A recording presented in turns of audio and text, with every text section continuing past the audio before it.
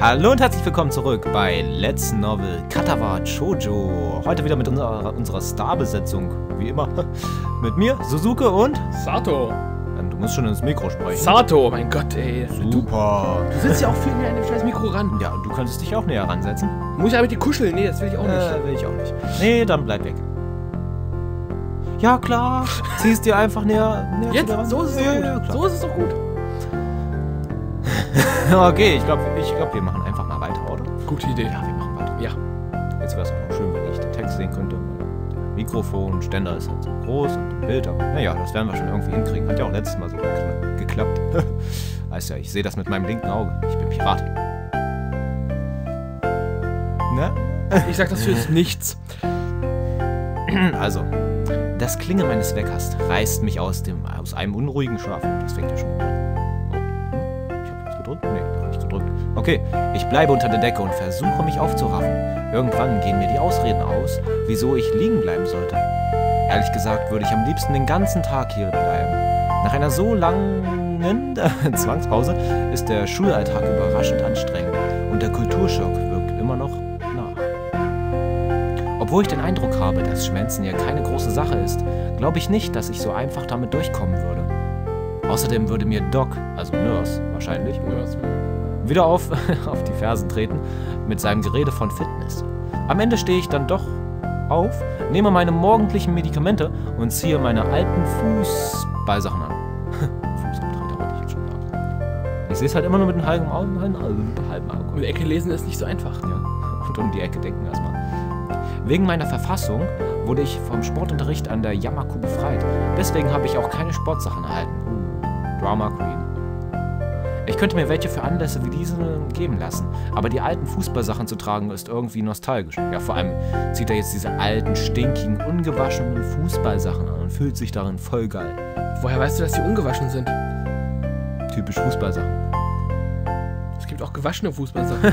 Glaubst du, er hat Zeit zum Waschen gehabt? Irgendwie? aber seine Mama, fünf Monate? Alter, er ist impotent, er wird dafür keine Zeit haben. Aber seine Mama, fünf Monate hatte sie Zeit, um die ganzen Sachen zu waschen. Weiß, vielleicht ist seine Mutti an Messi. Na und, das heißt aber noch lange nicht, dass sie die Saschen... Äh, Dass Sachen es Sascha nicht wäscht, ja. Ja, Sascha. ja, das werden wir noch erfahren. Wahrscheinlich nicht. Ich, ich dr- drück einfach mal weiter, okay? Fußball spielen kann ich sowieso nicht mehr. Vielleicht können sie auf diese Weise ein neues Leben beginnen. Ein bisschen so wie ich. Was, die Leute oder die Fußballsachen? Die Fußballsachen Die wahrscheinlich. Fußballsachen. Ja. Die sind ungewaschen, eindeutig, sonst würden sie nicht um, um die Ecke laufen. Weißt Und ein neues Leben beginnen. du? ja. Tja, ich mach mich los, ich beginne ein neues Leben. Komm du mit deiner Impotenz irgendwie klar? Ich verpiss mich. Ja. Und. Und dann waren seine Fußballsachen weg. Ja. Doof gelaufen. Wenn ich sorgfältiger mit meinem Körper. ich wollte jetzt spielen sagen, nee. Warum? Nee, na, aber es passt. Wenn ich sorgfältiger mit meinem Körper umgehen will, kann ich mir keine Nachlässigkeit leisten. Ich werde mit den Grundlagen anfangen. Zum Beispiel, indem ich den Rest meines Körpers fit halte. Viel mehr kann ich nicht tun, um mein Herz zu stärken. Vielleicht kann ich dann so etwas ähnliches wie ein normales Leben führen oder zumindest eines, bei dem ich keine Angst haben muss, jeden Moment tot umzufallen oder tot aufzuwachen. Ja, oder tot aufzuwachen. Ja, also davor hätte ich ja noch mehr Angst. Hm. Ein Sportplatz. Zu meiner Überraschung bin ich nicht der Einzige auf dem Sportplatz. Nicht nur, dass es auch noch ein bekanntes was? Gesicht. Nicht nur, es ist auch noch ein bekanntes Gesicht. Aha. Das Mädchen mit dem Beinprothesen, das mir gestern im Flur über den das mich gestern im Flur über den Haufen gerannt hat, läuft geschmeidig um die Bahn wie eine halbmechanische Gazelle. Hm. Zeit zu jagen. Nicht dieses Jagen. Wie war ihr Name nochmal? Er war kurz, aber ich kann mich nicht mehr daran erinnern. Sie scheint einen leichten Dauerlauf, einige Runden zu absolvieren. Ihre Hast Beinprothesen. du jetzt gesagt? Das habe ich jetzt gesagt. Dass du dich nicht an den Namen erinnern kannst. Ja. jo, das kann ich auch nicht mehr. Ich auch nicht. Ihre Beinprothesen klackern rhythmisch auf der Bahnoberfläche. Ich frage mich, warum sie so früh am Morgen läuft. Vielleicht ist es ein ähnlicher Grund wie bei mir und das arme Ding wird genau wie ich vom Doc zum Joggen gedrängt. Oh, armes Ding. Ich wäre jedenfalls sicher nicht hier, wenn es nicht um meine Gesundheit ginge und er mich nicht aufgefordert hätte. Trotz alledem bin ich nur so früh hier, weil ich die Sache hinter mich bringen will. Insgeheim habe ich gehofft, dass um diese Uhrzeit niemand meine ersten erbärmlichen Versuche, wieder in Form zu kommen, beobachten würde. Ich würde ja gehen, aber es sieht so aus, als hätte mich meine Angreiferin von gestern auf ihrer letzten Runde bemerkt. Oh, tja, wer ist jetzt hier der Jäger und wer der Gejagte? Ja. Sie winkt mir fröhlich zu und joggt drüber. ha, dein Einsatz. Ja, okay. Guten Morgen, Hisao. Äh, ja. Guten Morgen, du bist Hisao, oder? Sie grinst. Anscheinend ist sie stolz, dass sie sich an meinen Ja, so weit sind wir nicht gekommen. Ja, nee, nicht wirklich. Vielleicht erinnerst du dich nicht mehr an mich. Oh ja. Emi, ich habe dich gestern im Flur umgerannt. Ach ja, da. Ach, Emi. Ich wusste es. Oh. Fräulein Ibarasaki. Ach, Saki. Sie imitiert Misha, wie diese Shizune imitiert. Aber sie schafft es mit. was? Sie imitiert Misha und diese Shizune imitiert. Alter, Inception oder was? Aus wie ein Mädchen, das aussieht wie ein Junge. Oh je. Aber sie schafft es mit ihrer hohen Stimme nicht an Mishas Singsang heranzukommen. Wie könnte ich so eine. Was? Wie könnte ich so eine so äh, direkte Vorstellung vergessen? Emi hat immerhin genug Anstand, einen Moment lang peinlich berührt reinzuschauen, bevor sie dann doch anfängt zu kichern. Ey, ich mach das hier Ja, wirklich kicher, an, ey. Ja, Dann kichere. Musst du schneller sein. War gut, oder? Nein. Okay. Ja, entschuldige bitte. Nochmal. Hm. Solange du das nicht zur Gewohnheit machst, ist das schon okay. Immer mit den Brüsten voraus. Dann ist alles gut. Großartig. Sie ist auch dafür. Ja. Tolle Idee, oder? Ich bin mir nicht sicher, ob sie verstanden hat, dass das ein Scherz war. Das war kein Scherz, Ja, das meinte ich wollte meinte ich jetzt ernst. Also die Spionenberaterin, von der Doc gesprochen hat, dann bist du das? So ist es. Oh. Um ehrlich zu sein, ich hatte jemanden vom Ple Pflegepersonal, Pflegepersonal erwartet. Was? Sehe ich etwa nicht so aus, als könnte, äh, als könnte ich eine Spionin sein? Nein, ich bin eher erleichtert. Ich hatte Angst, jemand würde mich hier auf Schritt und Tritt überwachen. Es sei denn, du bist hier, um genau das zu tun. Ja, treten kannst du uns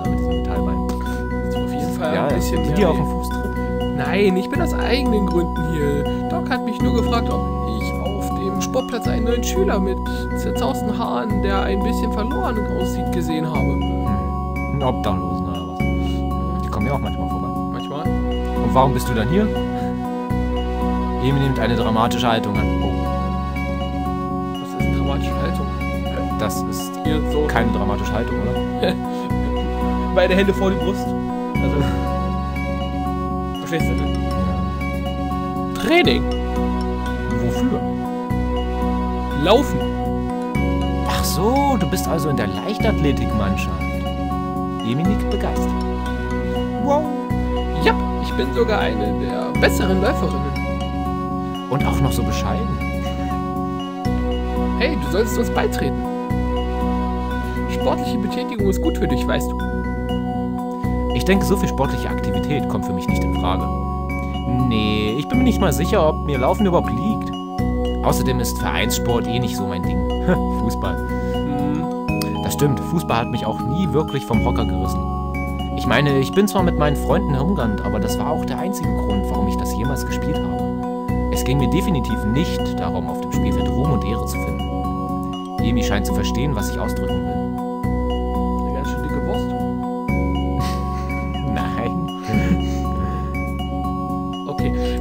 Nein. Nein. Ja, heute bin ich der hier mit den. Wenigstens mache ich keine rassistischen Witze. Ja, aber das hat keinen Sinn. Gut verstanden. Ausdrücken, er hat was mit Ausdrücken gesagt. Naja. Oder Naja. Pickel von mir aus auch. Langweilig. Lies deinen Text, du Textleser. Okay. Schon gut, ich verstehe. Du bist nicht so eine. Äh, Augenkneis wegmachen. Bist nicht so der Gruppenmensch. Aber da du jetzt schon einmal da bist, können wir ja auch zusammenlaufen. Oder? Oder? Oh, ich habe das Oder nicht gesehen. Was? Äh, ja, warum nicht? Emi scheint sich zu freuen. Oh, wir haben sie glücklich gemacht. Wärmst du dich erst auf? Verdammt, ich habe da jetzt eben geschrieben, wärmst du mich auf? Ach, du hast das geschrieben. ich habe das Kein geschrieben. Wunder, dass die ganze Zeit nur Ich Scheiße habe das dabei übersetzt, ja. ja. Für dich vielleicht scheiße, für andere Menschen Kunst. Richtige Männer wärmen sich nicht auf. Die sind schon heiß. Oh nein, du sollst... Was? Aber dich über, meine, über den Spruch mit der Wurst aufregen. Komm. Oh nein. Achso, ja, verdammt. Das hat sich jetzt irgendwie undramatisch angehört. oh nein, du solltest dich immer aufwärmen. Böser Hisau. Sitzplatz. Sitzplatz, Hundeplatz. Sie schimpft ziemlich mit mir, lächelt dann aber und beugt sich zu mir hinüber. Tja, Ich hasse Aufwärmen auch. ich verrate dir mal ein Geheimnis. Ich hasse es auch. so Ja, ungefähr, oder was? so ohne Beine ist Aufwärmen immer sehr anstrengend. Plötzlich lacht sie laut auf. Und ich muss mir noch nicht mal die Beine dehnen. Das ist ein echter Schenkelklopfer. ist, er- ist es. Alter, ich glaube, wir laden sie, laden sie zu einer Fußmassage ein oder so. Das ist eine gute Idee. weißt du? Weißt du, was richtig dämlich wäre? Alter, jetzt hat sie gehüpft. Sie ist gehüpft. Weißt du, was mir was richtig dämlich wäre? Wenn man, Du musst doch schon reinsprechen. warte, wenn man hier so Oberschenkel nur hätte, dann kommt da so ein Stück Metall und dann hast du noch einen Fuß, einen richtigen unten dran. Das ist irgendwie voll doof. Vor allem würden die dir wahrscheinlich den Fuß auch abnehmen. Ich weiß, aber das wäre auch irgendwie lustig. Ah, dann kannst du. Wahrscheinlich in der nahen Zukunft, wo man alles regenerieren, alles neu herstellen kann, bis auf das Gehirn und ein bisschen Bein. Und ein bisschen Bein. Das geht nicht da. Das Schienbein kann leider nicht ersetzt werden, aber wir können einen Fuß ersetzen und das mit einem Metallteil verbinden. Mit einem Draht, weißt du? Ein Draht aus dem Baumarkt für 3,50 oder so. 350? Um ihre Aussage zu unterstreichen, springt sie ein paar Mal auf und ab. Sie wirkt, als ob sie auf ein paar Sprungfedern stünde. Ihre Laufprothesen scheinen ziemlich elastisch zu sein. Auf geht's! Wir laufen los. Ich erkenne sofort, dass sie nicht übertrieben hat, als sie sagte, sie sei eine gute Läuferin. Emis Bewegungen sind flüssig. Sie genießt es. Ich bin mehr damit beschäftigt, mich überhaupt richtig auf den Beinen zu halten. Die Finger locker, richtig? Und erst mit den Ballen auftreten, dann mit den Fersen.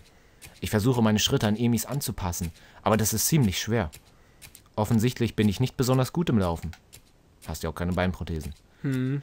Vielleicht kann mir Emi mal dabei helfen. Mehr als ein paar Runden schaffe ich heute Abend, beim besten Willen nicht. Ich werde bald langsamer. Ich weiß nicht, ob ich jetzt nochmal drücken darf. Nee, darf ich nicht. Okay. Emi läuft weiter und scheint erst zu merken, dass ich angehalten habe, als sie mich überrundet.